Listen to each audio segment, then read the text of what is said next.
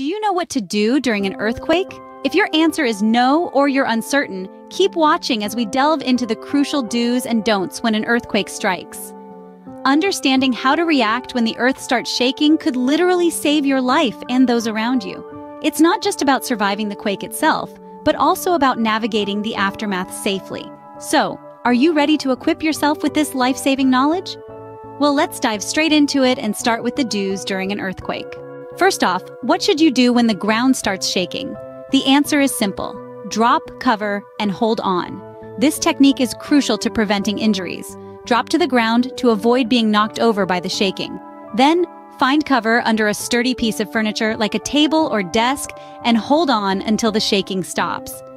If there isn't any furniture nearby, protect your head and neck with your arms and find shelter against an interior wall moving away from windows and heavy objects that could fall. Now, if you're indoors when the quake hits, stay put. It's tempting to dash outside, but moving during shaking can be hazardous, especially in high-rise buildings where the swaying can be amplified. So hunker down and wait it out.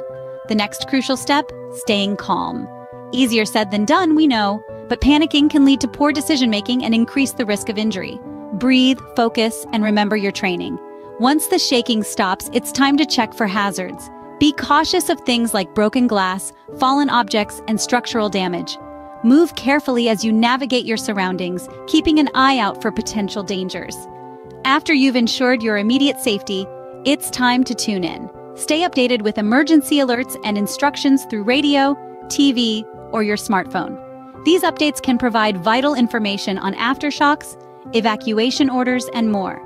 Last but certainly not least, if it's safe to do so, assist others. Children, the elderly, and individuals with disabilities may need help to evacuate or seek medical attention. Your actions can make a huge difference in such challenging times. So remember, stay calm, stay safe, and stay informed. Now, let's move on to what not to do during an earthquake. While knowing what to do is important, it's equally crucial to know what not to do when an earthquake hits. Firstly, do not panic. This can't be stressed enough. Panic can lead to irrational decisions and increase the risk of injury. Just remember, keep cool, stay focused, and you'll be better equipped to handle whatever comes your way. Next, never use elevators during or immediately after an earthquake. The shaking can cause them to become stuck or malfunction, trapping occupants inside. It's a scary thought, isn't it? So, always opt for staircases when you need to move between floors. Contrary to popular belief, standing in doorways is not recommended as a safe practice during earthquakes. You might be thinking, but I've heard that door frames are the strongest part of the house. However, modern research and building codes suggest that it's safer to drop, cover, and hold on under sturdy furniture or against interior walls. While it may be tempting to run outside during an earthquake, resist the urge. It's generally safer to stay indoors and take cover until the shaking stops. Running outside exposes you to falling debris, glass, and other hazards. So, unless you're already outside or in an unsafe building, it's best to stay put. Lastly, don't ignore aftershocks. They are common after large earthquakes and can cause additional damage. It's easy to breathe a sigh of relief once the initial shaking stops, but remember, aftershocks can be just as dangerous. So be prepared for them and take the same protective actions as during the initial quake. Just as knowing the do's can save lives, understanding these don'ts can also be a lifesaver. It's not about instilling fear, but about promoting awareness and preparedness. By avoiding these actions, you can keep yourself and others safe during an earthquake.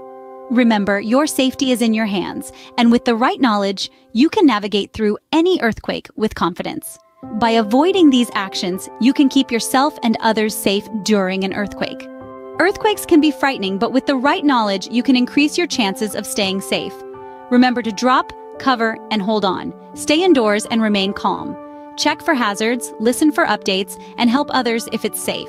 Avoid panicking using elevators, standing in doorways, running outside, and ignoring aftershocks. Staying calm and making informed decisions can significantly increase your safety. Remember, your safety is paramount. So, stay informed, stay prepared, and stay safe. Thank you for watching and don't forget to share this video to help others stay safe too.